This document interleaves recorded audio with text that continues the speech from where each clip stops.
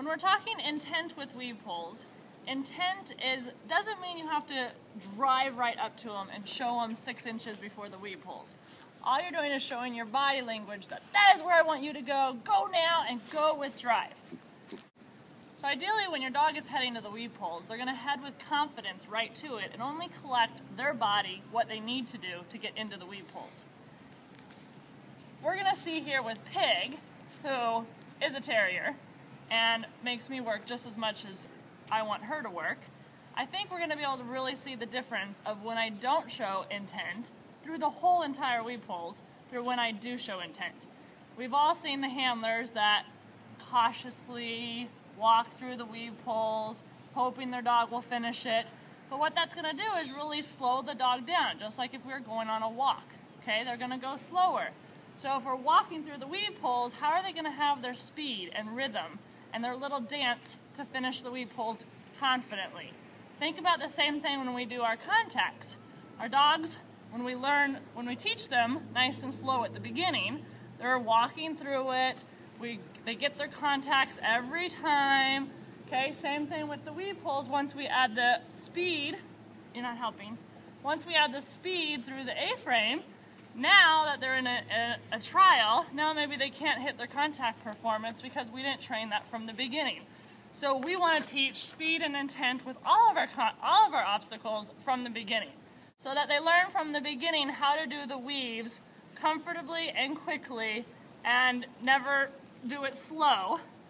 So we're going to time her and see the difference from when I am showing intent the whole time and when I'm just kind of walking with her.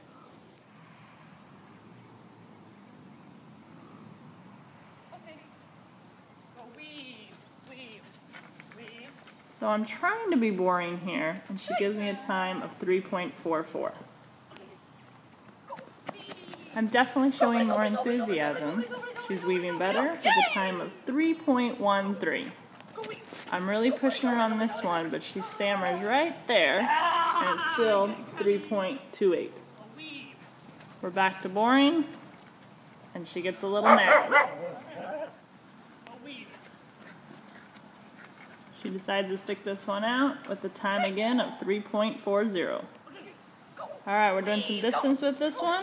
She's still very enthusiastic and a fast time at 3.19. Alright, now we'll watch my Border Collie do it.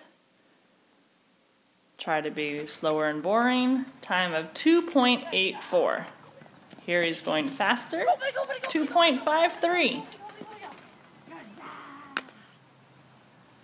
Same thing, I'm getting right in there, getting them all excited. 2.57 just about the same.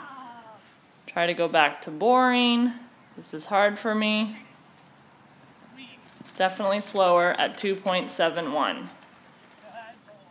And again, intent but at a distance. 2.63. It's important to note here that it doesn't matter if I'm driving from ahead, behind, or 20 feet laterally. I have always taught them with drive and enthusiasm, so they have no hesitation on the weave poles no matter where I'm at and what I'm doing. So I think it was obvious how Joker weaved, whether I was showing intent or not. His stride changed a couple of times. He went to this stride once in between when I wasn't with him and I didn't say anything and I was just walking next to him, which he hasn't seen. But let me ask you, which weave poles did he look happier doing? The second question is, if I would have trained the weave poles without intent from the beginning, how do you think his overall weave pole performance would be? Do you think he would be winning 30 weave pole incredible dog challenges? So that's my point also with the contacts. Very important when your dog has learned the contacts, maybe around a year, 14 months, 16 months, you're putting that drive and intent and enthusiasm to get down there.